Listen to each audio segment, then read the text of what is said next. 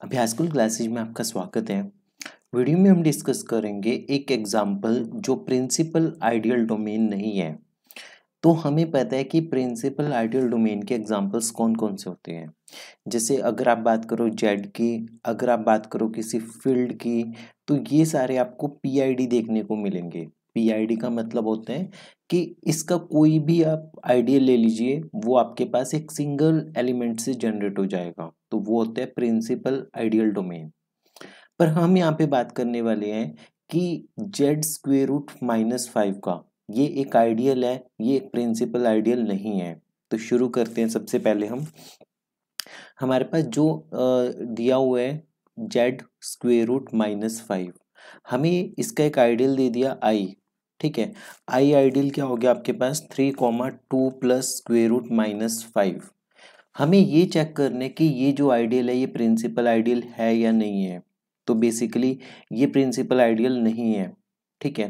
तो मतलब कि ये आइडियल एक सिंगल एलिमेंट से जनरेट नहीं हो रहा, ये हम प्रूव करेंगे।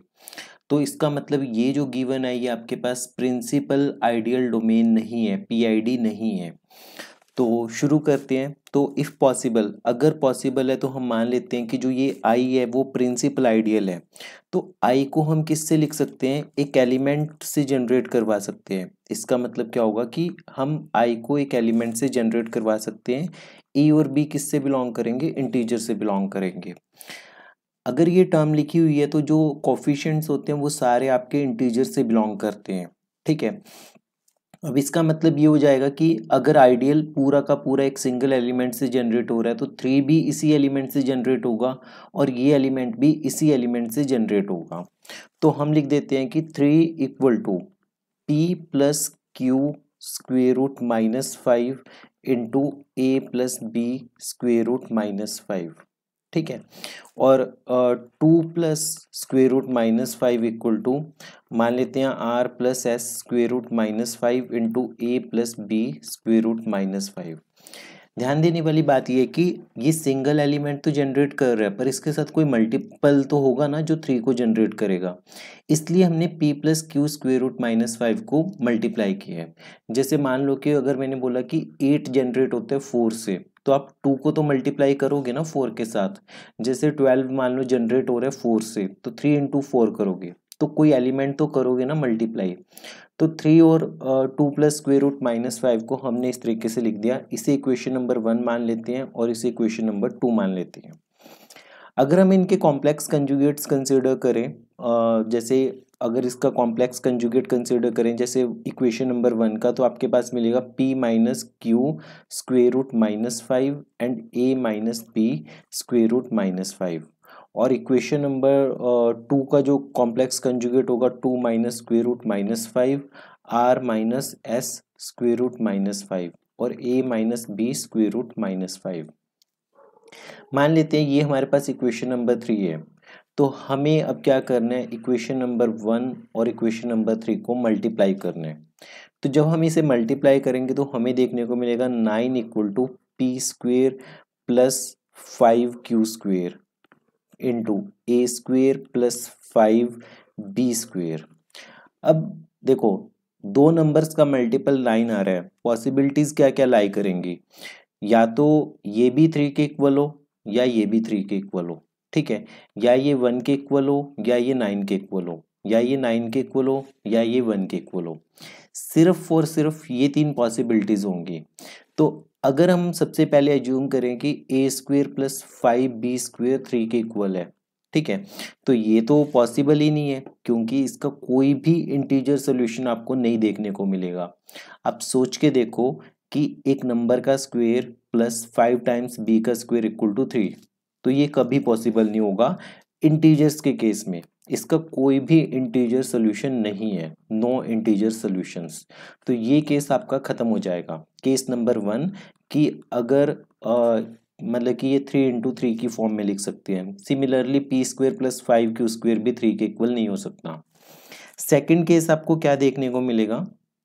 सेकंड केस में ये देखने को मिलेगा कि हम मान लेते हैं कि a square plus five b square nine के इक्वल है. A square plus five b square किसके इक्वल है? नाइन के इक्वल है। तो केस टू हमारा क्या हो गया कि अगर a square plus five b square nine के इक्वल है तो p square plus five q square को किसके इक्वल होना पड़ेगा? वन के इक्वल होना पड़ेगा। ठीक है? तो इसका मतलब तो पी को वन होना पड़ेगा प्लस माइनस वन हो सकते हैं और क्यू को होना पड़ेगा ज़ीरो ठीक है? ये तभी पॉसिबल है ना? P square plus five q square equal to one अगर पी की वैल्यू प्लस माइनस वन हो। अगर ऐसा होता है तो हम क्या करेंगे? इक्वेशन नंबर वन में हमारा पी की वैल्यू वन पुट करेंगे प्लस माइनस वन पुट करेंगे, और ये वाली टर्म एज इट इज़ आ जाएगी आपके पास। तो इक्वेशन नंबर वन कैसी दिखेगी आपको फिर उस केस में? कि three equal to plus minus a plus b square root minus five आपको इस फॉर्म की दिखेगी वो इक्वेशन और अगर इसी इक्वेशन को हम इक्वेशन नंबर टू में यूज़ करें टू में यूज़ करने का मतलब है कि हम a plus b square root five की जगह पे हम थ्री लिखेंगे। इसकी जगह पे इक्वेशन नंबर टू में प्लस माइनस थ्री लिखेंगे। तो आपके पास क्या बनेगा? Two plus square root minus five equal to plus minus three r plus s square root minus five ध्यान देने वाली बात यहाँ पे एक और है कि अगर मान लो आपने लिखा eight equal to two into four तो टू डिवाइड करेगा फोर टू डिवाइड करेगा एट को फोर डिवाइड करेगा एट को। तो यहाँ पे ये नंबर इन दोनों का मल्टीपल है। तो इसका इम्प्लाइड मीनिंग क्या होगा कि थ्री डिवाइड करेगा two plus square root minus five को। जो कि एक कॉन्ट्राडिक्शन है, जो कि नॉट ट्रू ऐसा नहीं होता कि थ्री डिवाइड करेगा इस नंबर को। तो यहाँ पे आपका केस नंबर टू भी गलत साबित हो गया कि अगर a square plus five b square nine के इक्वल हो गया। अब केस नंबर थ्री पे मूव ऑन करते हैं कि अगर a square plus five b square one के इक्वल हो जाए। थर्ड केस हमारे पास क्या हो गया? केस थ्री कि अगर a square plus five b square one के इक्वल हो गया। तो हमारे पास जो गिवन आइडियल था, जो हमने आई एज्यूम किया था कि एक सिंगल एलिमेंट से जनरेट हो रहे हैं तो इसमें ए की वैल्यू कितनी होगी? वन होगी और बी की वैल्यू ज़ीरो तो मतलब कि आइडियल किससे जनरेट हो जाएगा? इसका मतलब ए की वैल्यू ज़ीरो होगी और बी की ए की वैल्यू वन होगी और बी की वैल्यू ज़ीरो होगी. तो इसका मतलब जो हमारा आइडियल है, वो सिर्फ़ एक सिंगल एलिमेंट वन से जनरेट हो रहा है. ठीक है? इसका मतलब थ्री और two plus square root minus five, वो किससे जनरेट हो रहे हैं? वो सिंगल वन से जनरेट हो रहे हैं। तो वन को हम किस फॉर्म में लिख सकते हैं? Three a plus two plus square root minus five into b b, beta. Beta मान लीजिए आप इसे और इसे अल्फ़ा मान लीजिए इस फॉर्म में। और अल्फ़ा और बीटा किससे बिलोंग कर रहे हैं? Z square root minus five से। ठीक है? अब हम क्या करते हैं कि ये जो पर्टिकुलर इक्वेशन है, इसमें दोनों साइड मल्टीप्लाई करते हैं, एक number two minus square root minus five से। तो आपको क्या देखने को मिलेगा? ये बनेगा आपके पास three into two minus square root minus five alpha minus three beta ठीक है? जब आप two minus square root minus five से मल्टीप्लाई करोगे तो A plus B A minus B का फॉर्मूला लग के यहाँ पे माइनस का साइन आ जाएगा। तो अब इसमें से आपके पास कॉमन निकल रहे हैं। Two minus square root minus five equal to three times two minus square root minus five alpha minus beta अब फिर से वही सेम सिचुएशन आ गई। अगर eight equal to four into two है तो फोर डिवाइड करेगा एट को या टू डिवाइड करेगा एट को। तो यहाँ से थ्री डिवाइड करेगा two minus square root minus five को, जो कि फिर से एक कॉन्ट्राडिक्शन अराइज कर रहे हैं, जो कि ऐसा नहीं होता आपके पास। तो इसका मतलब कि जो हमने सपोज़ किया था वो गलत है, हमारी जो एजम्पन है सपोजिशन है, वो गलत है इज़ गलत। तो इसका मतलब आई जो है, वो एक प्रिंसिपल आइडियल नहीं है। आई क्या नहीं है? एक प्रिंसिपल आइडियल नहीं है। तो ये चीज़ आपको ध्यान रखनी है। फिर से एक बार गो थ्रू करते हैं पूरे सॉल्यूशन को। ठीक है? आपके पास सिंपली पेपर में ये आ सकता है कि प्रूव दैट कि this particular integral domain is not principal सिर्फ़ इतना पूछा जाएगा। और जब आप स्टेटमेंट्स की बात करोगे यूजीसी नेट के पॉइंट ऑफ़ व्यू से तो वहाँ पे डायरेक्ट आपके पास A B C D statements में एक स्टेटमेंट होगी कि Z of square root minus five is a P I D ठीक है? तो वहाँ पे ये स्टेटमेंट भी गलत हो जाएगी। पीआईडी होने का मतलब है कि इसका कोई भी आइडियल एक सिंगल एलिमेंट से जनरेट हो। हमने इसका एक आइडियल ये कंसिडर कर लिया ये इसका पर्टिकुलर आइडियल है ठीक है? इस आइडियल को हमने क्या किया? आ, हमने मान लिया कि ये एक प्रिंसिपल आइडियल है मतलब कि सिंगल एलिमेंट से जनरेट हो रहा है। तो थ्री और this element two plus square root minus five इन दोनों को हमने मान लिया कि इनसे जनरेट हो रहे हैं। फिर हमने इनका कॉम्प्लेक्स कंजुगेट लेके स्क्वेयर कर मल्टीप्लाई कर दिया तो आपके पास ये इक्वेशन बनी। इस इक्वेशन के तीन पॉसिबल सोल्यूशंस हैं थ्री थ्री वन नाइन और नाइन वन अगर आपके पास सबसे पहले वाला सोल्यूशन नहीं हो सकता, क्योंकि इस केस में कोई भी इंटीजर सोल्यूशन आपको नहीं मिलेगा।